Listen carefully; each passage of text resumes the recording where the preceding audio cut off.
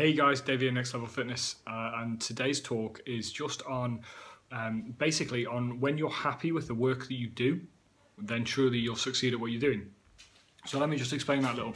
Um, my daughter's now on a chore chart, okay? Well, however you think about chore charts, um, rewarding your kids, etc., that's not up for debate here. That's how we reward in our house, okay? Hard work gets rewarded. So she's got something that she's wanting to, to save up some money for. So if she does few household chores every single day, um, therefore at the end of the week, she's going to get a pound for it. She's going to bit, a little bit of pocket money and she can save her money towards it. Now, one of the jobs she has to do is tidy the lounge, which initially she found quite unfair because it's not just her mess, it's her and her two-year-old brother's mess. But that's by the by, she's six and he's two.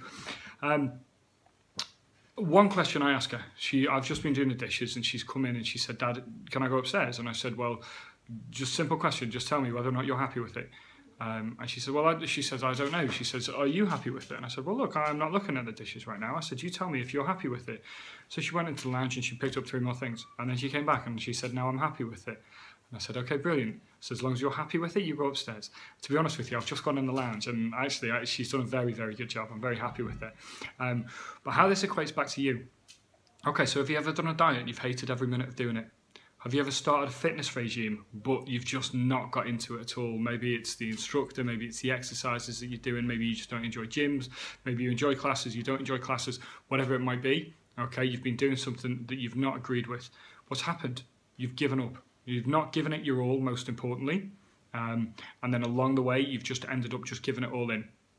Now, when you can get to the point of the same question I asked my daughter, are you happy with the work you've put in? So these days, even when you're actually on the right path and you feel like you're doing the right things, um, if you have a sneaky, I don't know, a, sneaky donut that maybe pushes you over your calorie count, your macros, whatever for the day, or if you go out on a Saturday night and get lashed and you do nothing but feel guilty all day the next day for it, well then you're not happy with your workload.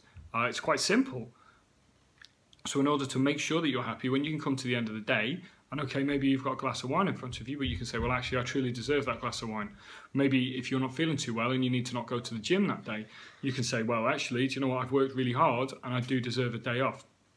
When you can honestly say to yourself, I am happy with what I have done so far, and folks, there's nothing holding you back and you will succeed at any single one of the goals that you want to push in. Listen, thanks for watching. Um, as always, comment below um, or drop me a message or something um, and we can discuss things in three further. Thanks for watching.